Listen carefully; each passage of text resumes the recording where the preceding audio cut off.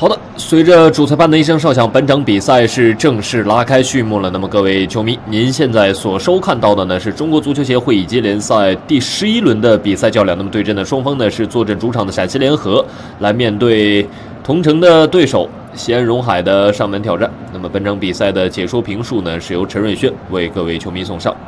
今天的主队陕西联合队呢是身着红色的比赛服，从后面的右侧向左侧进攻；而今天的客队西安崇德荣海呢是身着黄色的比赛服，从后面的左侧向右侧进攻。二分钟啊，也有很多球迷跟我解释了啊，说是这个球队。我们先来看一下，这次打中了立柱，哎呦，开场之后的一脚远射，距离还是比较的远。打的这一脚是石破天惊啊，直挂球门的十分脚。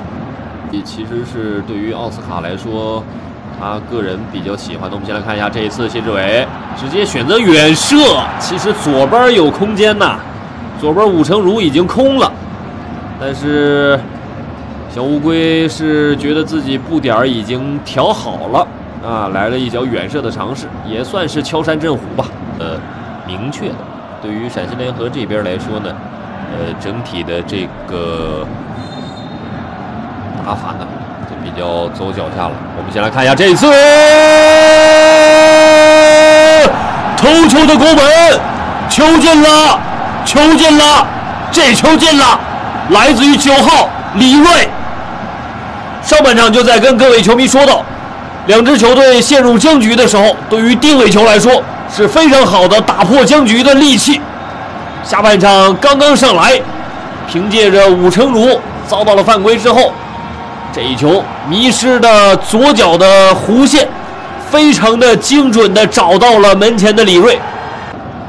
给了一个身后球，我们来看马小磊，这球传过去，嗯，打在了出击的门将的身上。米浩伦，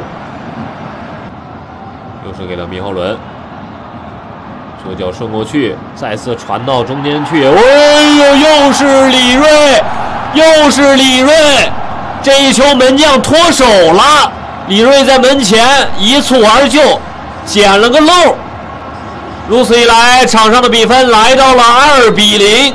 李锐梅开二度，这球是门将的失误。贾新瑶在门前扑了一个难度并不大的。来自于陕西联合的这种传中的球啊，脱手了。嗯，这一球没办法了。李瑞非常轻松的左脚一推，将皮球送入网窝。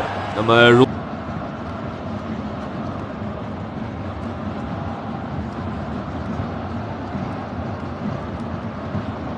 横传过去，哦，这球我们来看一下怎么处理，右脚打门。好的，那么这个时候呢，主裁判是吹响了本场比赛结束的哨音。那么如此一来呢，凭借着高中锋李锐的梅开二度，陕西联合今天在主场再下一城，继续领跑中乙北区的榜首的位置。那么非常恭喜陕西联合在这个赛季距离升级、距离中甲的名额是又近了一步。